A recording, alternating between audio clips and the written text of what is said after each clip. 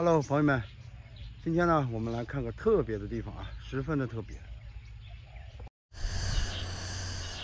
我现在呢就在这个桥上啊，这个桥找了很长时间没有找到，是在这个那边是南，是在北海医院稍微往北走一走，北海医院大桥一过大桥，这有条路过来，那边是大路，就到了。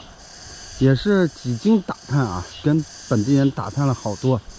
才找到的。这座桥的特点，我们看到啊，是个三叉的，一个方向，第二个方向。现在呢，已经成为了危桥啊。据说是在上世纪八九十年代建设的，当时还有电视台对这个桥进行了特别的报道啊。从平面来说啊，这是一个拱形的，看到没有？看似没有拱，实际上是略微带拱。现在都长满了这个树叶了啊。然后我们找一个合适的角度来看一下，哎，这边是一条小河啊，那边还有一条船横在中间，哎，江南水乡的小河真的很美啊。这只船我在视频里面已经见过了，去年前年的视频，这只船就在这里，现在呢还在这里，很有意思啊。在这个角度呢就可以看得比较清楚了啊。那边呢，三岔。就是这个桥，这个桥的奇特之处在哪呢？中间该有的支撑点却没有啊！这个大胆的设计真的很厉害啊！因为谁敢保证这个桥这样支撑住呢？支撑得住呢？但是维持了多少年呢？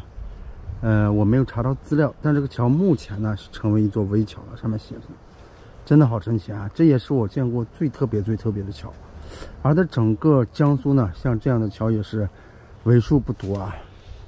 啊，有看到人说，在江苏的吴江也有，不知道和这个一不一样。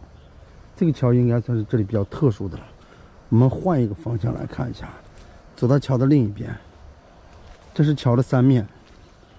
这里水草非常的丰茂啊，茂盛吧。这就是桥的右边啊，可以看一下，现在是这个样子。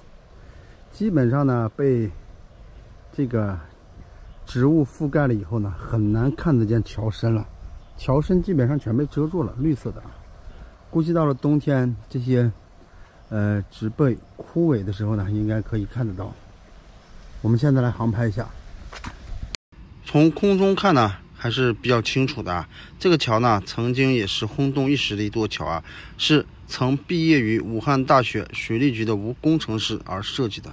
当时还上过一个报纸啊，所以说呢，这个桥在当地啊也是十分特殊的。